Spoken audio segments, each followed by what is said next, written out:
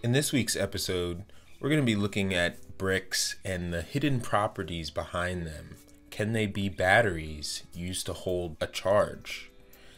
If so, this would line up with what I've been talking about for several videos the notion that cities are electrical and they are laid out just like grids. I didn't originate this, but I have been leading many clues onto it. This research comes out of the Washington University in St. Louis, which, if you didn't know, housed a World's Fair expo back in the day. But they seem to be on to something in current times, talking about bricks being used to hold a charge. This would line up with a lot of the researchers in the hidden history community because it seems as though these buildings are more than just buildings. Last video, we talked about the main building at Notre Dame, which took 4.35 million bricks. I've shown Fort Jefferson in the Florida Keys, which has 16 million bricks. And this is the Jetavanaramaya Stupa in Sri Lanka, which has 93 million bricks. Could it be that these bricks used in these structures are doing something more than we ever imagined? Let's see. Welcome back to Geomansee. Thank you for joining me. Today we're going to be talking about the brick, the building block of the entire world, and you know, the main component that seems to be keeping things together. We're going to start with a brickwork in ancient Rome that archaeologists, as usual, stumbled across somehow. The brickworks of Tullus and Lucanus Domitius, two Roman noble family brothers, they started this brickwork and made the bricks that were said to have been used in the Colosseum, the Pantheon, and many other brick structures in ancient Rome. If you didn't know, Romans pretty much pioneered brick making according to the narrative we're told they created the fired clay brick, the cooked clay, terracotta, meaning cooked earth. Um, this is, you know, some of the technology that they were said to bring to the world. Roman bricks are pretty distinguishable for being long and thin, and also particular types of bricks for various specific features like mosaic, um, as you can see down here. Fast forward to the late 1800s, our favorite time period in the United States. We've got the layout of manufacturing bricks. So here, the bulletin of the New York State Museum, they tell us in 1893 that bricks are usually made of one of the following three processes: soft mud, stiff mud, or wire cut, or dry clay. Now, these three methods will determine the end result, and then they go on to tell you that what is entailed, the processes and tools that are needed to create these bricks. If you want to read this, pause this and check it. If not, we're going to look at some pictures of the process. So here you can see the horse bringing the clay in. So we got two horsepower up there, looks like, and, a, and one guy dumping clay onto the cart, and then the cart gets wheeled over into the processing uh, house where guys like here are turning that clay into the mixture to make the bricks. Now, bricks are made of clay and sand. I should also say, since we're talking about bricks holding power and storing power, um, what we have is we have clay so, and and the redness comes from iron oxide. So that's where, you know, the battery power can come from. And then we're mixing it with sand. So that's silicon dioxide. That's quartz. Like I have quartz here. So, sand and clay, this definitely seems already like some combination of something that's not just strong and durable, but it has electrical properties and maybe um, properties beyond that keep that in mind. So anyway, we've got these reset gents here who look like they've been told to work the brickworks. And yeah, it's it's not easy work, so my hat is off to them. This is what is entailed. After the bricks are formed, they then have to be dried. and they will lay them out in either tunnels like this or out in the sun to dry. And then after the bricks are dried, they have to be fired. So the way that they fire these bricks are they stack them up into a large group like this and then they light the fire from the inside and this burns the bricks from the inside. They let them cool. Then they go ahead and stack the bricks on railroad on railway cars and take them off to the destination wherever they got to go. Pretty laborious process, right? And consider that some of these buildings, I mean, bricks are everywhere. So if this is what is done, man, that's a lot of work and a lot of labor involved just to make these bricks.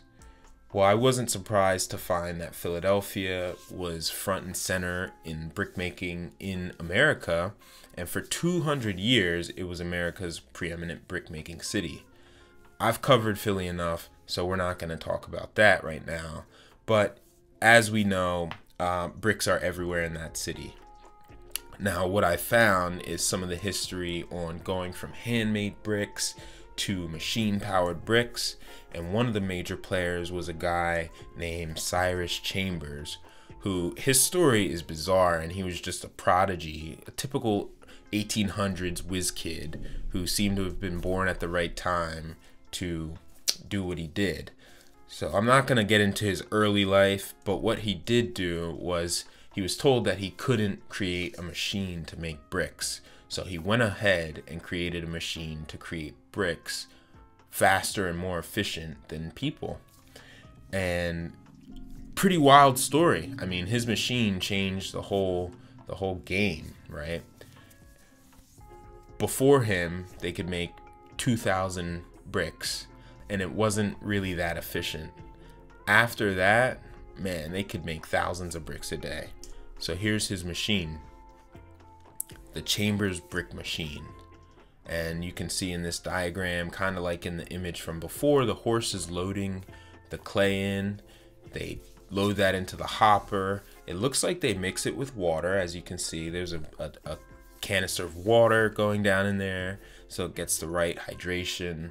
And then the hopper mixes it and turns it into the clay. It looks very much like a cement truck, to be honest.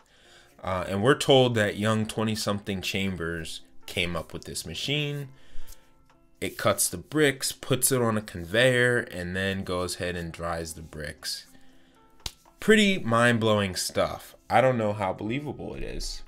Uh, what do you think? Let's take a look at some of the most amazing brick buildings around the world, okay? We're gonna just see some of these brick buildings and see if you think that they would have been made with bricks produced using these methods. First up is the Church of St. Anne, Vilnius, Lithuania. Okay, the first thing I note is that this is brick Gothic architecture, 100% brick, you can see, which is very impressive because the thing about laying bricks is that if they're not level, if one brick is off, it's gonna throw the entire structure off. Um, not so easy to do by hand.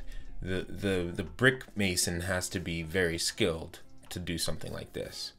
Now you can also see the different types of bricks and shapes of bricks. Amazing stuff. How are they doing this in 1500, we're told, right? Now look at this section in the middle looks very similar to the House of Blackheads in Riga, Latvia, which I've shown in previous videos, uh, down to the type of gables that we see and even the swirly decoration on them. I mean, I think it's definitely an indication that the builders studied the same book. It's also worth noting that this region, this is the Baltic region, and I, I don't know much about this. I'm not going to claim to be some expert uh, geographer or historian, but I'm learning that these regions, or this region, has many of the same type of architecture. And interestingly enough, blackheads seem to be all over the place, from the swarthy Swedes and Germans um, to you know, these House of Blackheads in Estonia and Riga, and even this church in Lithuania. Interesting stuff, worth noting. Speaking of Poland and the Baltic region, the next building will be this Malbork Castle in Malbork, Poland, 1274. Imagine just sitting back one day watching this thing go up. I would pay to see that happen. And you know, you can see a tower in the back. You can see on the right side, we've got stepped gables with quatrefoils in between. So there's a lot of high level geometry and architectural detail, but most important most importantly, masonry execution. It's like the builders at the end of the day, they know what they're doing. And you can see everywhere on this castle. This is the largest castle in Europe, by the way. The largest brick castle in Europe. It's actually the largest brick building in Europe as well. Mind blowing. What was it needed for? Was it built by men and women or other beings for other beings? I don't know. Next up is the State Historical Museum in Moscow.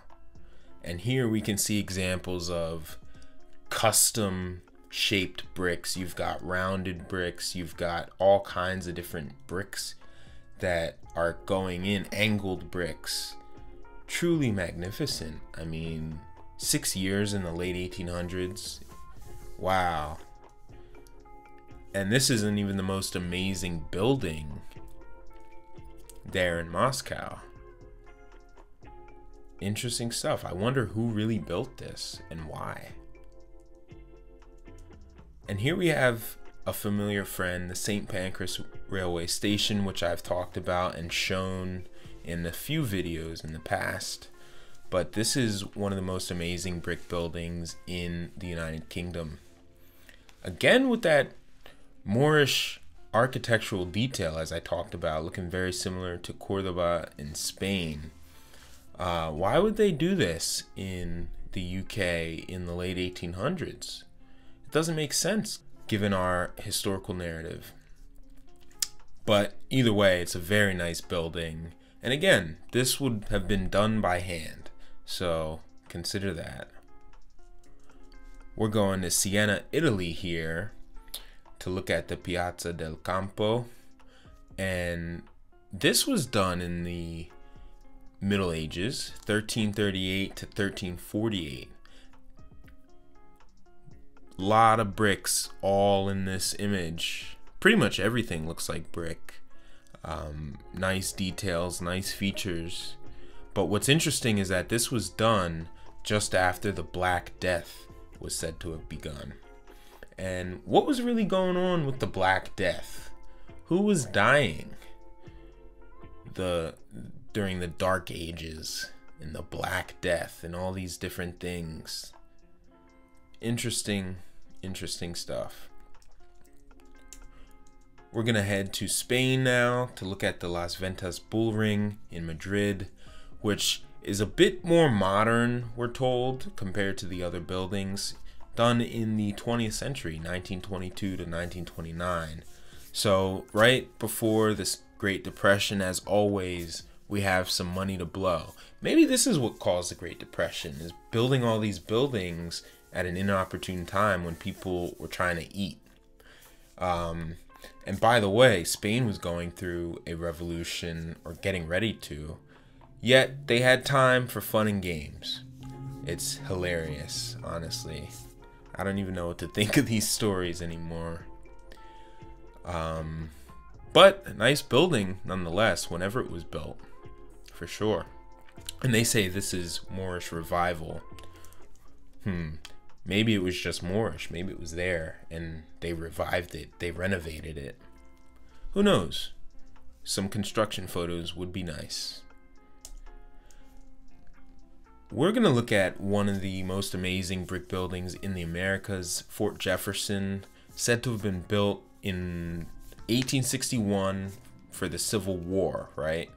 Now, somehow they were able to get 16 million bricks to this exact location and build the foundation in the water, build the wall, and then go ahead and, you know, build the structure up. It's amazing. And what were they really protecting? This doesn't make sense. Was it a jail? I mean, why would they take prisoners all the way here? It doesn't make sense. And and also look at that island. It kind of looks like a DNA strand leading to this hexagonal cell sitting in salt water. So if the bricks are batteries, then they can absorb some of this salinity from the current and create a charge. I don't know. Just some ideas. But here you see underneath, you see these arcades and vaults. How many bricks? I mean, 16 million bricks used? Wow. How many men? Or women? Or whoever? I just want to know who was involved in this. Because it's truly spectacular. Here we have the Sultan Abdul Samad building in Malaysia. Now, this is another Moorish revival style, we're told, done in three years from 1894 to 1897. Doesn't matter where in the world you go, they could just throw things up in a couple years, it seems like, right? Nice, nice brickwork. Um, really, really just great detail all around. I can tell the domes definitely have been replaced a couple times or at least renovated, but the brickwork itself seems pretty top class. Even down there in Malaysia, the, the British brought their their best, I guess. But this is pre-British Empire, the Rasmancha Temple in India looking similar to an Aztec temple, to be honest. I mean, I'm wondering if the civilizations were connected in ways that we don't know. It would seem so, because buildings speak more than history books do. Now you can see many different types of bricks. You can see the mortar. You can see long bricks, which look like the Roman style bricks I was talking about. Um, wide, fat bricks. I mean, there's all kinds of bricks. They didn't discriminate here, it looks like. Truly amazing. This this must be an important node on the grid, just like the Jetavanaramaya Stupa in Sri Lanka, which, believe it or not, is the largest brick building in the world. How many bricks do you think were used to make this? 93 million. That's right. 93 million bricks used to create this in the year 300 AD. Now, I think this is when historians just make stuff up because they really don't have a good explanation. And they know that the further back things get buried, the less questions we ask. But it's not the case. I mean, how did they make all these bricks? How did they get them here? How did they lay them? I think we're talking about like high level magic. I think we're talking about something that is not spoken about. Some power. And again, it's a mound. So we know this is energetic. We know the mound represents the womb, the female energy. So this is, but it also has the spire on top, which is representing the male energy. So these types of structures are pretty sacred and pretty special, powerful, energetic nodes.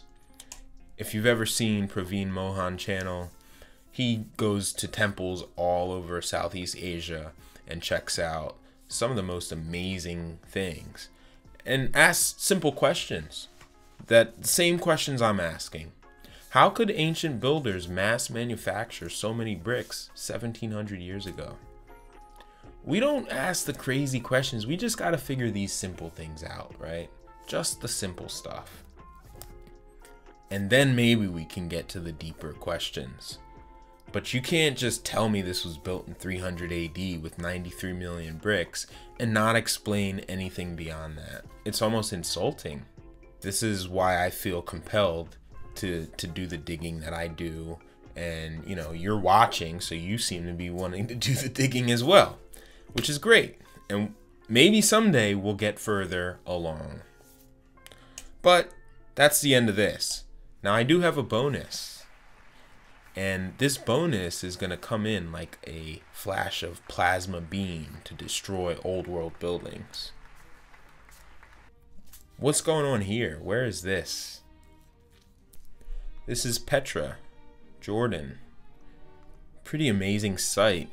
And I just found this panoramic 360 panorama um, website, which is pretty neat. I'll leave the link and we can just check out some of these places. Now, this is just an exploration. I have no idea what is going on. I don't know much about the narrative, and I don't know what actually happened. But I can tell by looking at this that this is an amazing place. And this is something magnificent. I mean, look at the scale of this entryway. And then we've got these three smaller rooms. Wow. Um, yeah, Petra. So this looks like the Southwest. This looks like Arizona or Utah. I mean, same stuff. And I will be doing some comparisons in the future of what I think happened out in this area.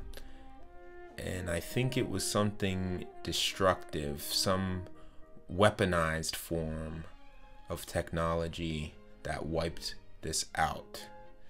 I don't think it was necessarily mud flood. I don't think it was war simply. I think it was something intentional to destroy these places and kind of melt them. And that's why, yeah, these you can look all over the place and you find these little entrances and doorways and I'm sure inside connects in various ways. I mean, even when you look out, right?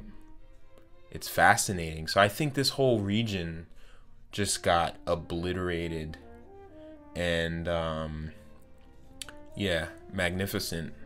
The amphitheater. Right? Like what?